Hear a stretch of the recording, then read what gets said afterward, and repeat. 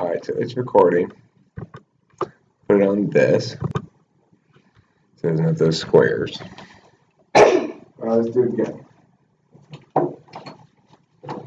The courteous potato politely sell potato skins as beards tore upon the chins of everyone with cash to spend.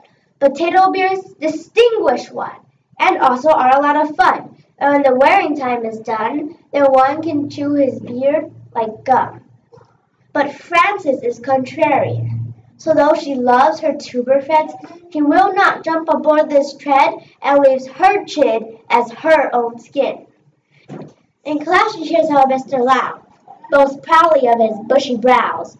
So later on she visits farms to potatoes with her charms. She's stricken by Sir To Po, a spy beloved high and low, and known best because of how he has the best potato brows. So Frances musters up her cute and makes up a sob story too. And soon enough, Sir Po is sold, both hard words and vision bold. Next week, Frances enters into business with Potato Man, with Sir Po as her spokesman, an urgent hurry to begin and thus Po Tweezers came to be. They formed a happy LLC and dealt with Brown's company, and the people had a spud brow spree.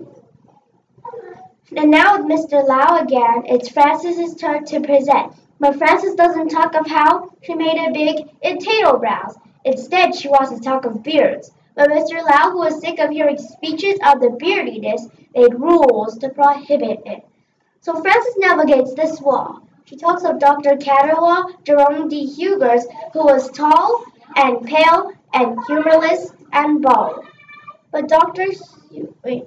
But Dr. Hugers also had a foremost place in making fads, and he in fact began the trend when he once talked potato chins.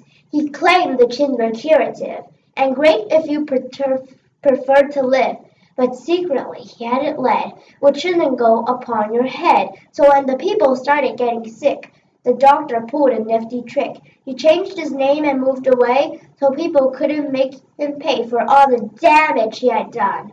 He kept the money, made a run, and settled near Frances's house and called himself now Mr. Lau.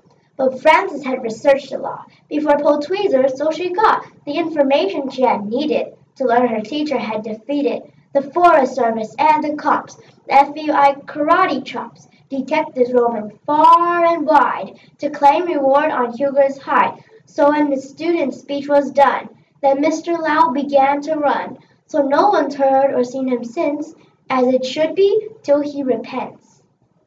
Okay. We need to do a little bit more with the gestures in the latter half of the speech. The first half is fine. Um, one I want to add right now before we watch this back is